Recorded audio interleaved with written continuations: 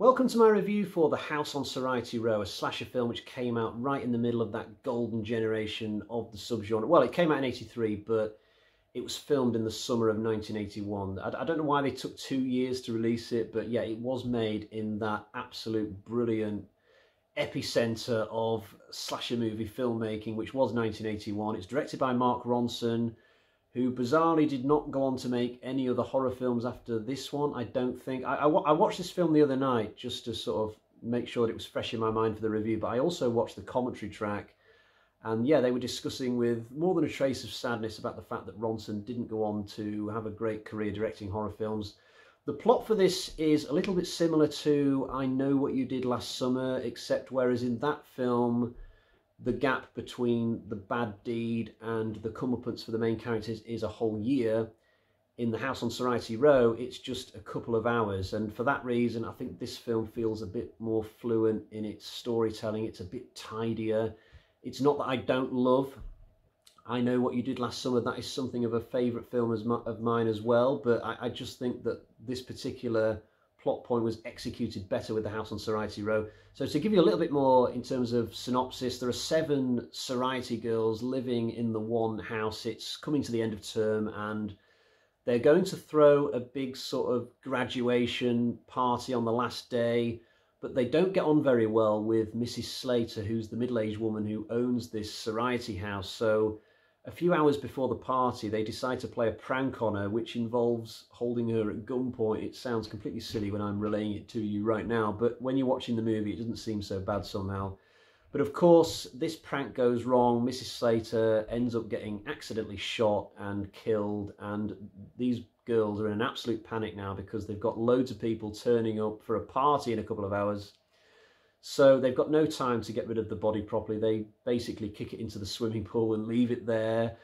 And for the rest of the night, they try and forget all about what's happened, but they start to then get killed off one by one, inside the party, outside the party, all around this building. And I don't think it's giving much away to tell you that Mrs. Slater is not the killer because the movie sort of tries to hint that she might be the killer for some reason, but I, I, think that would have been extremely unsatisfying if she had been. I mean, this woman clearly gets shot and falls in the swimming pool, so yeah, what superhuman feat it would have been if she'd have managed to have come back from that. But no, turns out somebody else witnessed Slater getting killed, somebody with a very strong personal and emotional connection to this woman it's a he, he's a really creepy SOB, and he goes after all these girls for the rest of the movie. Now, I have a long association with this film. I watched it for the first time when I was a teenager. I saw it just a week after I'd seen Hell Night for the first time, another classic early 80s slasher. But when it first came on British TV, it was known as House of Evil. It's, it's one of those films which dicked around with its title a little bit. And because I thought that it was called House of Evil, I couldn't locate it for the longest time. There were times when I was in my 20s, I still remembered this great film I'd seen when I was a teenager, and I would be in like places like HMV and other DVD shops, and I think, oh, House of Evil, let's have a look in the horror section. Could never find it because I didn't know it had a different title. So finally, it was only when I got into my 30s and I was randomly messing around on my phone, I, I, solved the mystery finally. But by this point, it'd been 20 years since I'd first watched it. But yeah, at that point, I went out and bought the Blu-ray, rediscovered it, and just enjoyed it all over again.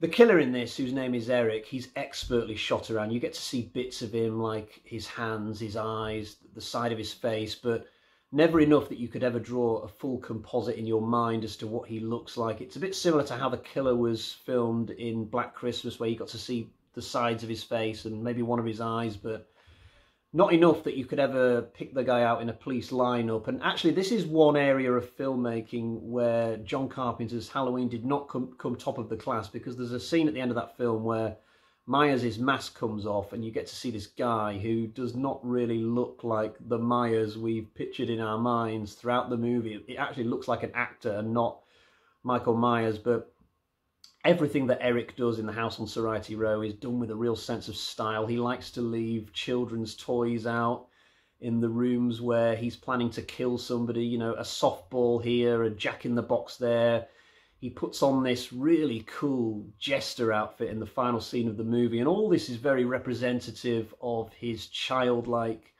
mentality. And speaking of which, there's a brilliant theme song in this film. It's probably one of my favourite themes in any horror film. It's not an easy one to remember. It doesn't stick in your brain like the theme tune from Suspiria or The Exorcist. In fact, I, I watched this film the other night and even the following day, I could not remember this tune. I had to bring it up again on YouTube, but there's two distinct versions of it in this. The first one we get right at the start, which is a really heavy kind of orchestral version that plays over the credits. And then later on, you get this more stripped back nursery rhyme version, which perfectly encapsulates who Eric is. It, it's, it's the sort of tune which you could easily have given to somebody like Jason or the brothers from Hell Night, you know, killers who, shall we say, did not really get a fair crack in life, and as a result, they've never been able to get past a certain level of maturity. Eric's kills are not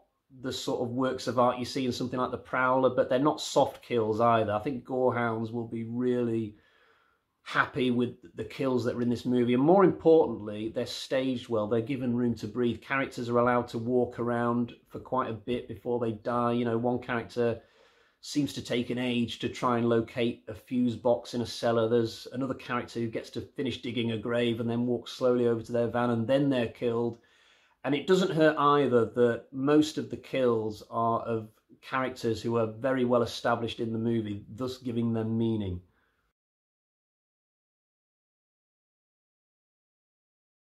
The main final girl in this, I hesitate to call her one of the best ever, but for me she probably is.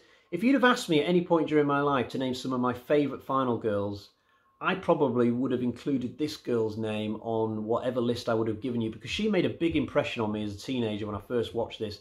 I don't mean in a sexual way at all, just the character, the actress playing her, very impressive. In fact, I distinctly remember peering forward on my bed at the end of my first viewing to make sure I got the actress's name off the credits and I got it, Kathryn McNeil.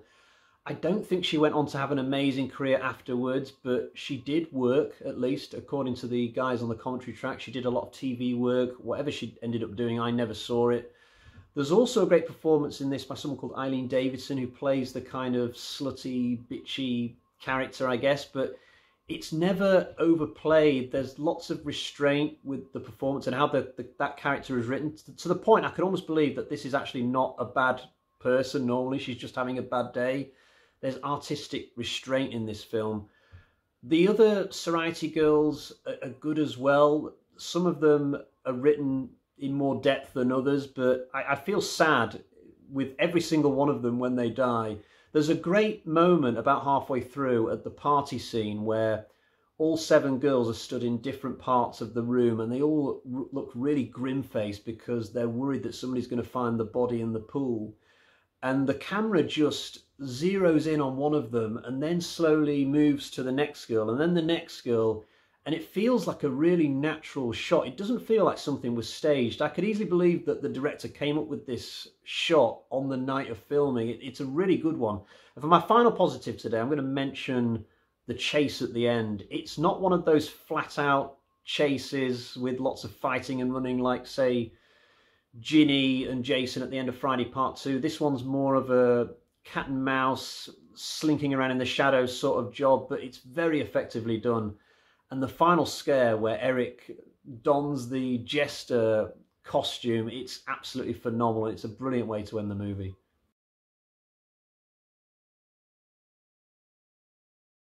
Now for my negative section, I guess I've only got two negative things to say about this film, and neither of them are that bothersome, in all honesty. So firstly, there's a kill near the start of this film. Well, it's not near the start, but it is the first kill when it eventually does happen but it's of a character who we've never seen before before he dies. So I, I, kind of feel like they could have taken this one out.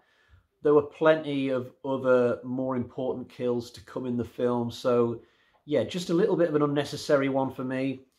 And my second bad thing to say is that there's there's this really bad actress in this film. She plays one of the sorority girls called Morgan. There's something off about her acting early on in the film, but where it really comes to a head is in this one scene where the characters are all stood around a kitchen table deciding what to do about the body and this girl has to do this one line. I think she only gets this one line in the whole scene and she absolutely butchers it. It's one of the worst readings of a line I've ever heard in a movie. I, I think it's quite an infamous thing for people who have seen this film.